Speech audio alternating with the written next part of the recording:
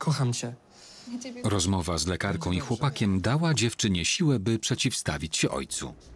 Mimo obaw chce urodzić i założyć z ukochanym rodzinę.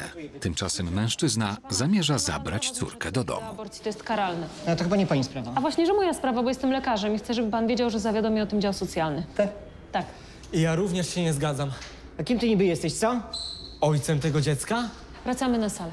Ojcem? Jesteś żałosnym nic więcej. Idziemy. Tato, nie, Ale nigdzie nie pana. pójdę.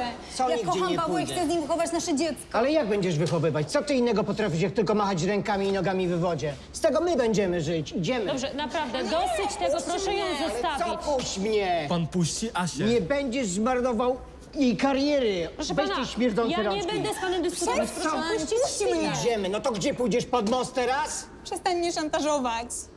Okej, ale pamiętaj, nie masz ani ojca, ani domu. Proszę Ja się wyjść. zajmę Asią. Tak, zajmiesz się. Tak, A ty zajmę jeszcze się. wrócisz do mnie, zobaczysz. Joanna jeszcze przyjdzie błagać o przebaczenie. Daj jej dzień. No góra dwa. Nie po to straciłem tyle czasu i pieniędzy, żeby nic z tego nie mieć.